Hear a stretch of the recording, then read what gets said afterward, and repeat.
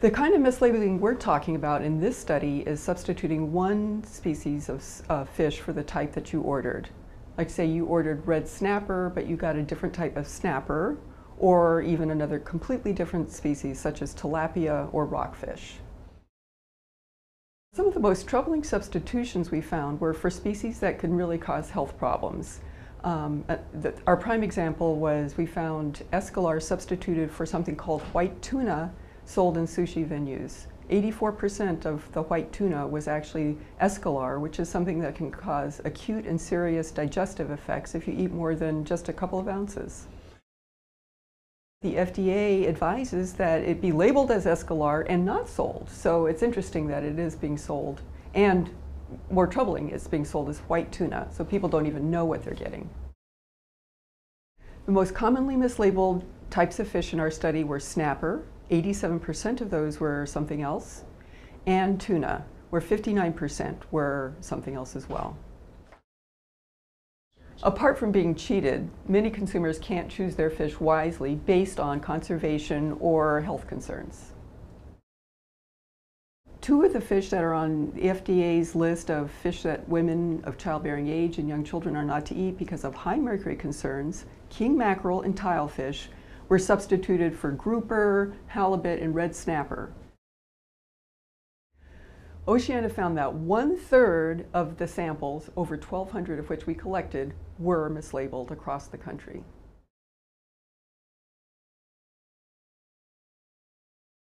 We found seafood fraud wherever we looked. Whether we tested in Boston, Los Angeles, Seattle, or Florida, everywhere we looked for seafood fraud, we found it. In the United States, we import more than 90% of the seafood that's consumed here, yet less than 1% is inspected specifically for seafood fraud. Some of the seafood substitutions that we found in our study were a less expensive, cheaper fish was swapped out for something more desirable, like tilapia for red snapper, um, catfish for grouper, or farm salmon for wild salmon. Our goal at Oceana is to ensure that the seafood sold in the United States is safe, legal, and honestly labeled. Oceana is working with Congress and the administration to require traceability for all seafood sold in the United States. Traceability is tracking your fish from boat to plate.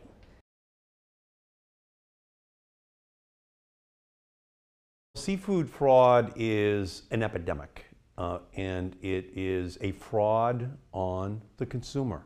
Uh, and it actually is also something that hurts legitimate fishermen who are playing by the rules.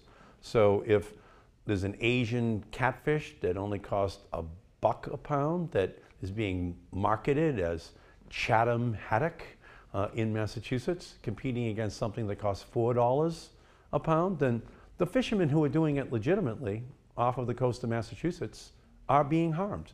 And the consumer is being harmed. So we just have to put an end to this by really putting tough, stringent laws on the books.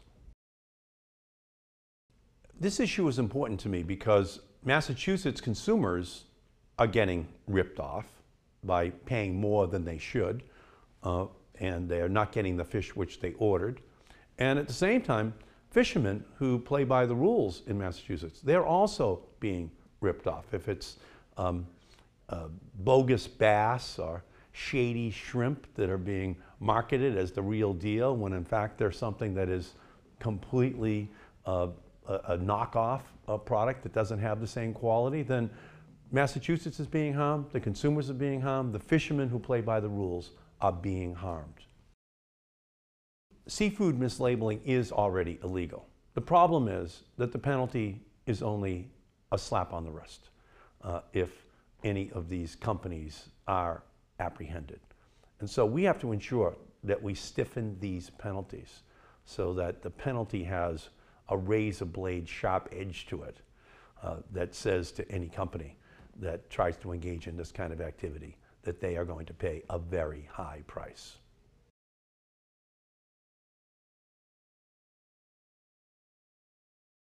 All you have to do is look at the product that we have. We have some incredible, uh, obviously Alaska king crab that you know is well known around the world, but now we have a whole bunch of Russian king crab coming in claiming to be Alaskan, mislabeled even in some cases, or farmed salmon claiming to be wild caught salmon. And so all this salmon product or king crab is impacting Alaska by depressing the prices or also diluting the market out there. And maybe if they get bad product and think it's Alaska product, then they stop buying it. So it has a direct impact. And not only for us, but nationwide, who people are depending on what they are buying is what they're buying. The challenge is obviously, you know, when we deal with our seafood product, we have multiple layers of review and, uh, and agencies that are part of it, making sure what you're buying is what you get, that it's been handled properly, that it's safe, and when it hits the marketplace, that the person who buys it knows it's clean, safe, and really, in lots of cases, sustainable too.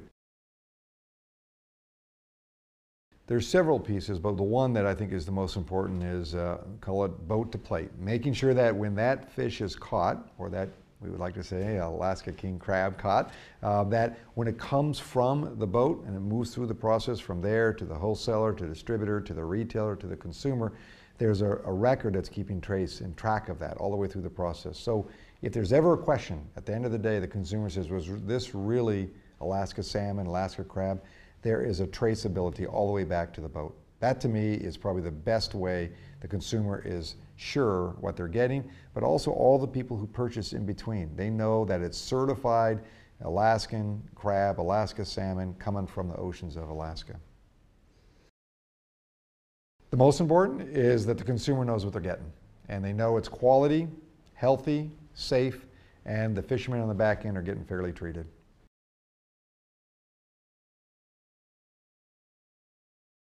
Once you remove the head and the skin from a fillet, it's very difficult to tell exactly what species you're dealing with. One of the problems we're facing is that there's over 1,700 species of fish that are commercially available in the United States, and it's very difficult for the end user to know exactly what they're getting when so many species are very similar. Seafood fraud is taking place because there's an opportunity to make a lot of money for a dishonest individual in, this, in the supply chain. If you can sell a $4 catfish fillet for $20 a pound, that's pure profit for the dishonest person.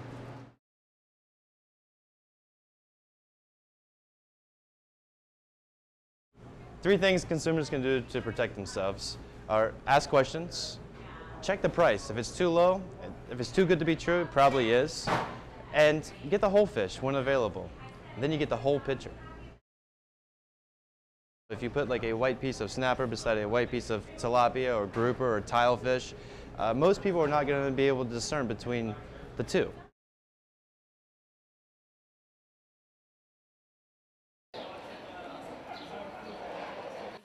500 on them?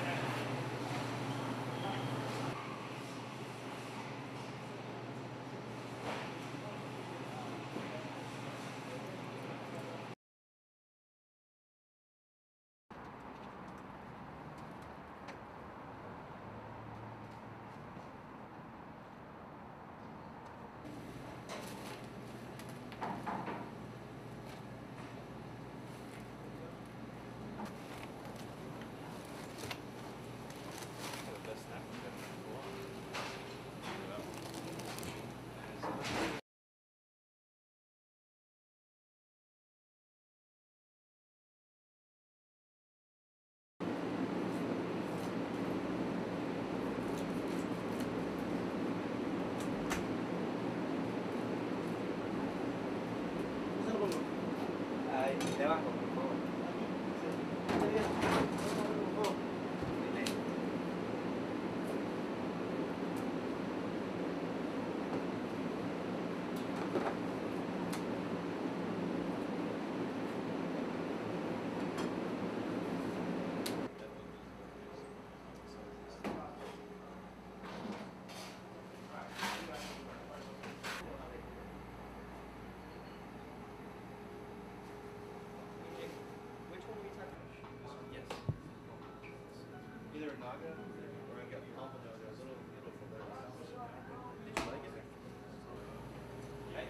sandwich. On the jar.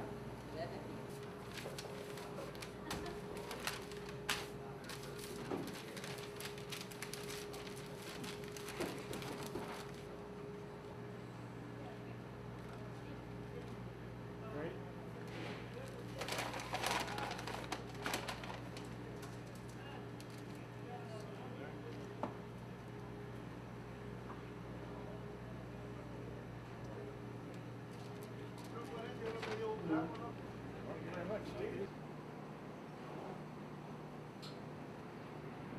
Thank you.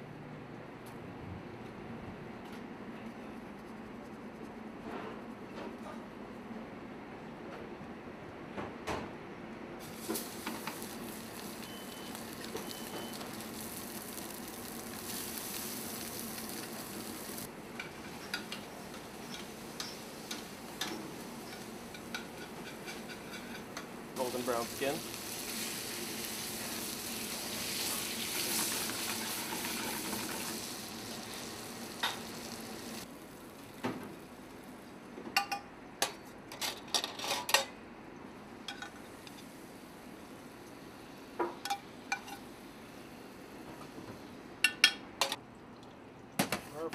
Thank you. And eat it.